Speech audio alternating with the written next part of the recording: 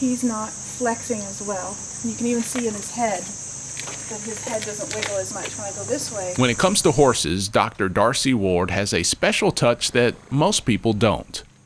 But I would not call her horse whisperer. I think it's more a bond uh, than whispering and communicating um, in a telepathic kind of way. Her life centers around helping horses, cats, dogs, and other animals get the pep back in their step. Her job, a very unique one animal chiropractor. I think it's getting more popular, the word's getting out more, what animal chiropractic can do. Uh, I'd say more people who have performance horses are, are more up on how chiropractic can help their animals. Or maybe it's even a behavioral issue. And that kind of goes to the, the dogs and cats. Their behavior starts to change and the owners notice, you know, Fido's not acting right or, uh, you know, Felix is, is not able to jump up on the couch anymore. Boy. On this day, she's working with Sumo, a big fellow who had a rough weekend. He's been limping for the past, I don't know, six weeks or so. Um, after we, uh, we took him out to the farm for a weekend and he romped around with some other dogs and tripped in potholes and, and uh, ran into a few uh, metal fences chasing other dogs. To see Darcy work in person puts you in the presence of an amazing experience. Here, doing that with him. Okay. So firm, good pressure in his shoulder. I was hearing his back crack and, and different things, and it, I, just, I was sort of just impressed. Like I didn't, I wasn't aware that you could, uh, you could do that to a dog.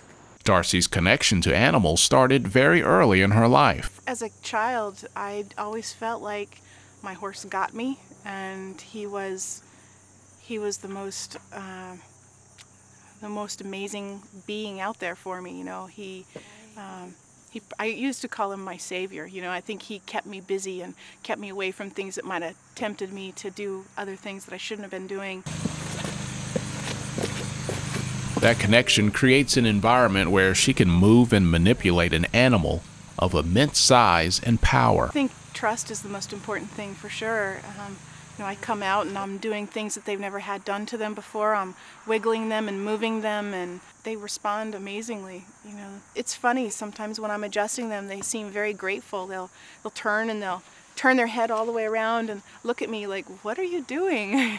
it's very sweet. The results are very tangible for the owners. Some of it is performance related. I have some barrel racing clients that I work with, and they notice that their times are faster. Darcy's biggest issue pet owners waiting too long. When an animal starts to um, have problems with a disc or a nerve, it seems like it progresses very fast. And so my hope is that people will be more educated about chiropractic and what we can do to help their animals, but not wait.